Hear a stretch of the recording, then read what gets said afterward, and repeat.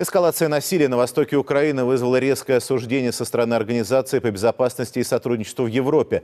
Председатель организации в специальном заявлении призвал стороны конфликта немедленно прекратить огонь и сесть за стол переговоров. Он подчеркнул, что все спорные вопросы должны решаться в первую очередь усилиями контактной группы.